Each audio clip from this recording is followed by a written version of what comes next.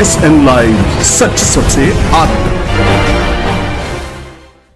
घुटना, कमर दर्द, कंधा दर्द, गठिया और साइटिका, एक्सीडेंट और फ्रैक्चर व हड्डी से रिलेटेड।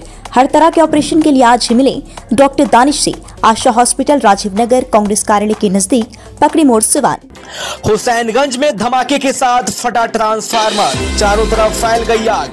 ट्रांसफार्मर से खौलता हुआ तेल बाहर निकला और किराना दुकान में लग गई आग। लोगों ने भागकर बचाई जान। हुसैनगंज, प्रखंड मुख्यालय में गुरुवार की दोपहर ट्रांसफार्मर फटने के बाद अफरा तफरी का माहौल कायम हो गया। इसके बाद बाज़ार में खरीदारी करने पहुँचे लोगों ने भागकर अपनी जान बचाई। घटना इस तरह भयावह था कि ट्रांसफार्मर के ब्लास्ट होने के तकरीबन दो घंटे तक चारों तरफ़ आग ही आग दिखाई पड़ रहा था। इस घटना में एक किराना दुकान जल गया। जिसमें लाखों रुपए की क्षति बताई जा रही है। घटना के संबंध में हुसैनगंज प्रखंड मुख्यालय के रहने वाले किराना एंड जनरल स्टोर के दुकानदार नूरुल होदा ने बताया कि गुरुवार की दोपहर वह अपने दुकान पर बैठे हुए थे।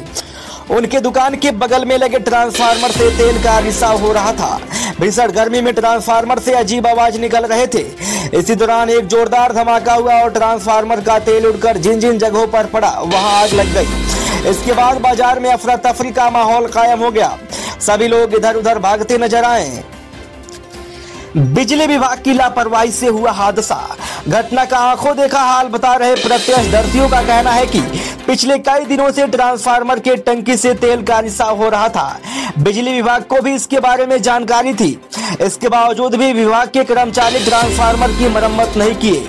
गुरुवार को ओवरलोडिंग के दौरान जोरदार धमाका हो गया। हालाँकि गनीमत यही रही जिस समय ट्रांसफार्मर ब्लास्ट हुआ, उस समय कोई भी व्यक्ति ट्रांसफार्मर के इर्द गिर्द खड़ा नहीं था। नहीं तो जिस तरह ट्रांसफार्मर से खोलते हुए तेल बाहर निकले और आग लग गया, इस बीच इंसान के ऊपर पड़ा होता तो जाने जा सकती थी। ऐसे लाइव से परवेज अख्तर की रिपोर्ट। देश और दुनिया की ऐसी ही खबरों को पाने के लिए जुड़े रहिए हमारे साथ। और हाँ अगर आप वीडियो को फेसबुक पर देख रहे हैं तो हमारे फेसबुक पेज को लाइक करें। और अगर आप यूट्यूब पर देख रहे हैं तो यूट्यूब चैनल को सब्सक्राइब करना मत भूलिए।